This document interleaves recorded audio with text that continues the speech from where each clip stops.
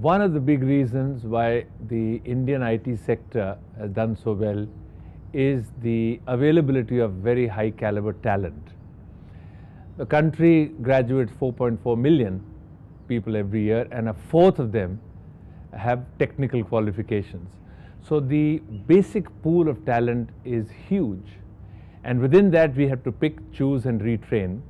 Uh, so, you know, even at the current level of growth, we don't see anywhere in the near future a constraint on talent. In fact, we, we continue to believe that the very well educated, high caliber talent which can be skilled up to requirements will continue to remain a big, big reason for our continued growth uh, as India's IT sector.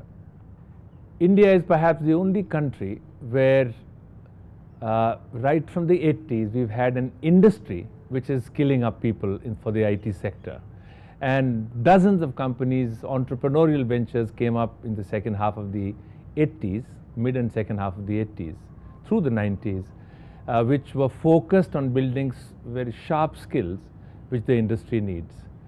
During this period, even the Indian education system has responded uh, to what was done initially by the private sector in education.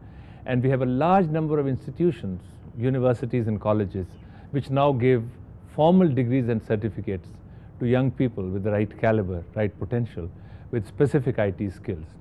Now, over and above that, our industry, the IT, Indian IT industry, is also unique that it has an exceptional capability and a very large investment in retraining talent because things keep changing all the time. So, in fact, our big companies have campuses which uh, you know even some of the formal universities of the, the world are envious of.